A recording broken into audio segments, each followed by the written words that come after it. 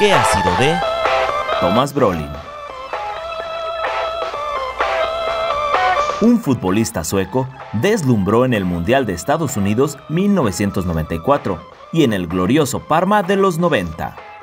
No, no es este gordito. Bueno, viéndolo bien sí es, pero muchos kilos y años después. Se trata de uno de los artífices del tercer lugar de Suecia en la Copa del Mundo del 94. Sí, es Thomas Brolin. Pero, ¿qué ha sido de Thomas Brolin?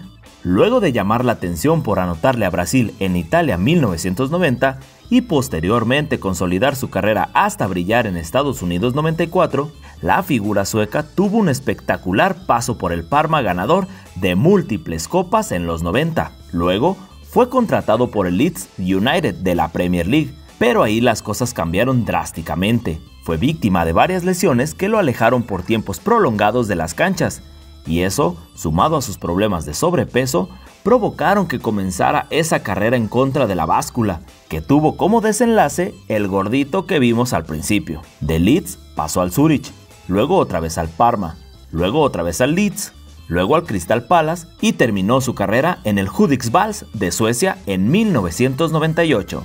Sus últimos seis equipos fueron en un lapso de tres años. Tan mal le fue en sus últimos años que en una votación los aficionados de Leeds lo eligieron como el peor fichaje vivo en la historia del equipo y encabezó una lista entre los fiascos más grandes que llegaron a la Premier League.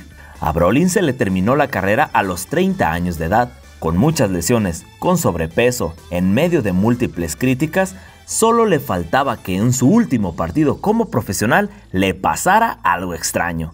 Y pues, resulta que jugó como portero. Sí, así fue. Su último partido lo jugó como portero. ¿Y cómo podría una persona en esta situación olvidar el final de su carrera futbolística? Buena idea, Brolin.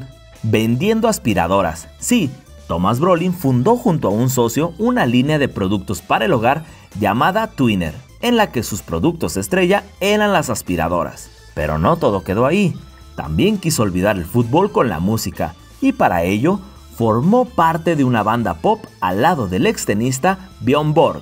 También participó en torneos de póker en televisión, un reality show de exdeportistas e incluso una famosa cantante sueca reveló haber estado en una orgía con Brolin y Borg.